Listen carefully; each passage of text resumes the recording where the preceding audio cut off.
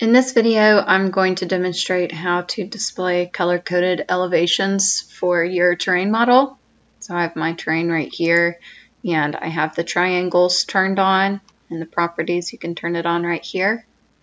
And I'm just going to go to View Attributes. I'm going to change the display style to thematic height. And this is just one that Bentley delivers, and it automatically creates it from the lowest point to the highest point within the DGN, which in this case is just the terrain, and you can see it display right here. So if I go to open the display settings and I want to edit it, you can change the minimum and the maximum, you can change the colors, the color scheme, you can customize it.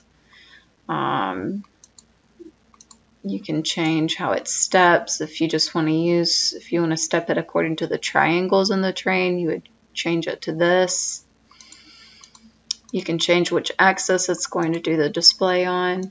And then here is the legend where you can control the steps. You can have it step every 10 feet or you can count it every 10 as well.